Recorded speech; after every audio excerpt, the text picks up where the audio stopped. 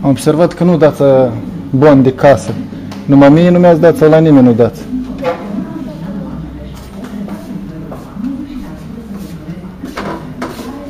Aveți și registrul de reclamații? Este. Aveți și autorizație de funcționare? Că nu e afișat nimic. Adică ce? Le... Autorizație de funcționare, le... cum se cheamă? Licență.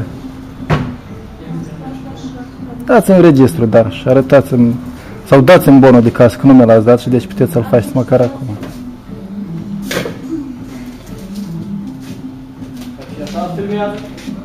Poftim? Păi de știi bagi în vorbă. Ți-am zis ceva? O să te fac eu vedetă.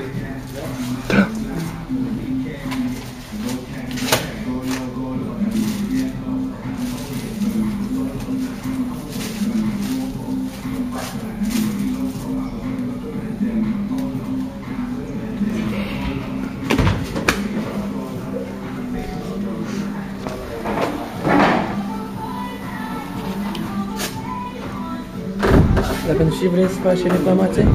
Pentru că nu mi s-a dat bani de casă și pentru că n-am afișat nicăieri Știi câte bonuri fiscale au dat până la ora asta, la 20-40?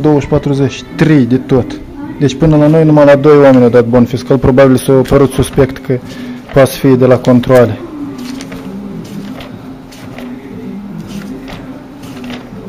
Nu, te nu mai laude. Se pare că nu, unora nu le place cantina. E 1 iunie anul trecut ultima dată și în anul ăsta numai în februarie 2016 au scris o Marie care le mulțumește. Dar e obligată deodată să-ți dai bani de casă, da? Sigur că da, sigur că da. SRL Bârsonic. Satul... Nu e niciun sat, în raionul Ialoveni, dar nu scrie unde. Și nici nu scrie anul de când e înregistrat. Dar tu nu mai scrie Nu mai scriu că n-am pix și milene. I-am filmat și mi-ajunge.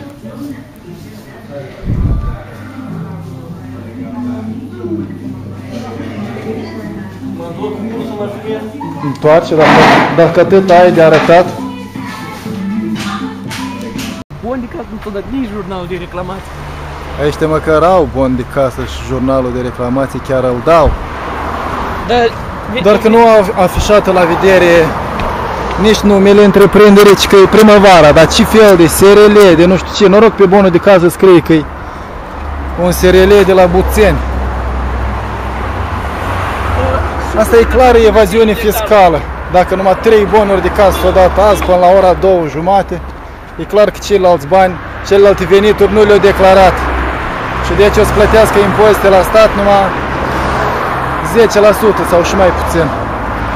Auzi, dar ce făcut la cantina aia ilegală? O, o mai închisă sau nu? Nu, încă funcționează.